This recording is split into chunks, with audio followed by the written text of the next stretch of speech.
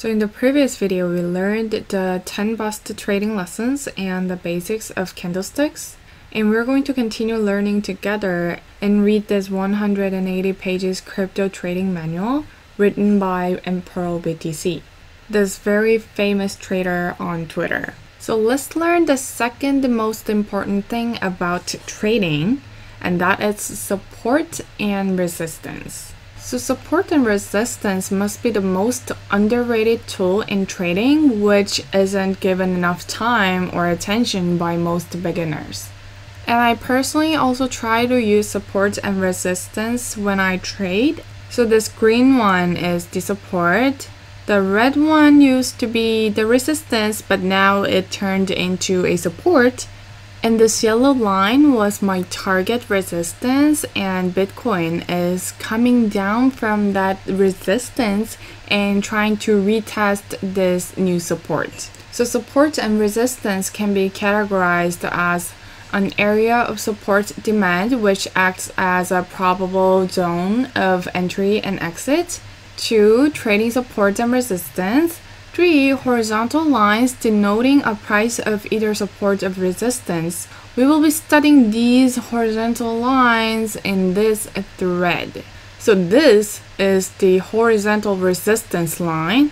So definition, a support line indicates a price where the buying pressure is more than the selling pressure, acting as a base for an upward bounce of price. So this is the example of a support line. So let's learn how to draw a support line. So first, you zoom out. Then you find a line that is touching as many lower points as possible. In this chart, this $1880 seems like a support at the moment for this chart because as you can see here, the price reacted one, twice, third time, four, five, and six. You can see the price has reacted to this price line six times. Price went up, meet this line, got resisted. Second time, rejected again. Third time, breakout, retest, bounce, and after the rally, it comes all the way down back to this line bounce back up, second time also bounce, and the third time now another rally.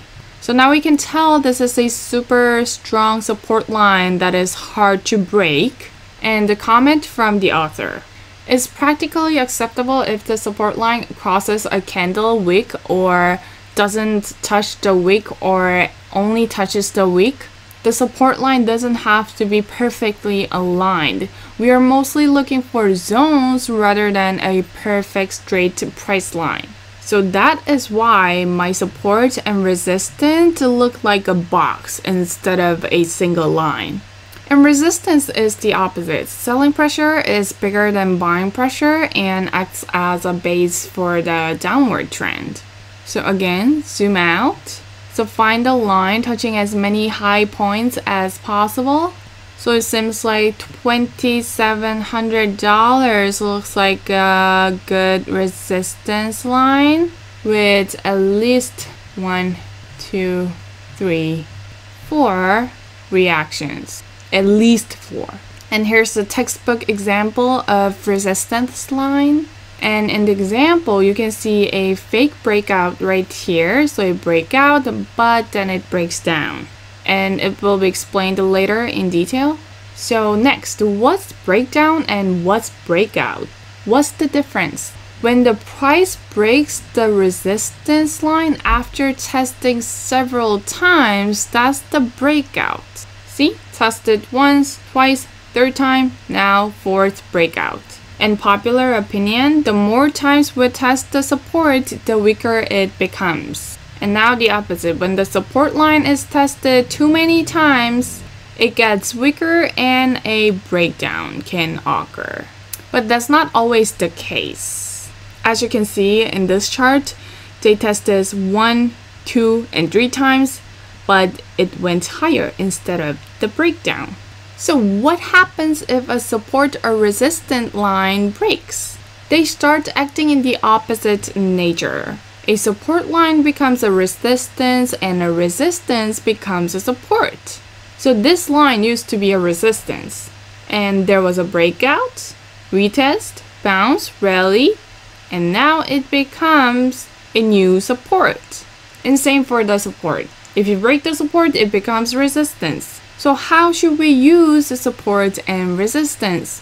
When a support line is established and confirmed by retest bounce, you can enter a long position. So that's the simple theory, but in real life, many things can happen. So one of the more profitable ways to use support and resistance is to use them as breakdown and breakout zone.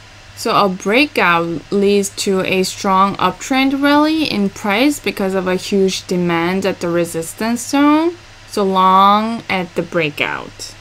And the exact opposite, short at breakdown. But before you enter, you should know the institutional players will do some kind of stop loss hunting and create a fake breakout.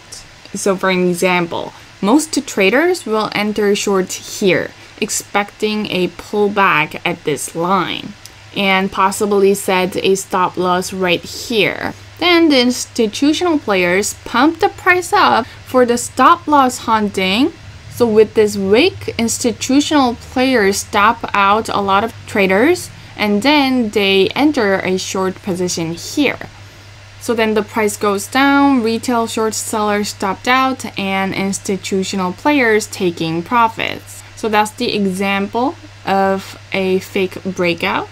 So in this scenario, the traders lose money even after being right. That's called short hunting and with the exact same chart. A few traders enter long here at this line expecting a breakout and then price goes up but the institutional players enter short position here so fake breakout confirms and longs get stopped out when the price goes down stopping out all the longs this is called long hunting at the resistance and the same exact stop loss hunting is done at the support. Stop loss hunting for longs and shorts at the support can be seen here. So now that we have understood that taking long and short entries at the exact support and resistance line can get you stopped out, let's look at two solutions for this problem. First solution is to look for the following. Breakout and breakdown, retest, and follow through. So, support formed, retest, and confirmed with the bounce, then you enter here. After the bounce, you enter. So basically, just by doing this, you enter after the fake breakout, if that happens. So that's simple. Same as here. Breakout, retest candle, confirm, and going up, so you enter long after the confirm retest candle. Second solution, after a breakout or a bounce from the support line, wait for the price to break another resistance like this one. So there's resistance here. If they break this resistance, you enter long. So the same concept can be applied for going short at resistance or breakdowns. So that's all for the support and resistance. Next video, we're going to learn risk management. So thank you for watching guys and I'll see you guys in the next video.